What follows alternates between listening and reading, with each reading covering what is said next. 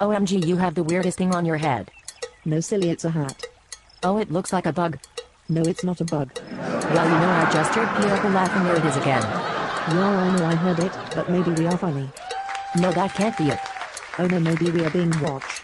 Oh, sorry. Oh well, we should go bye.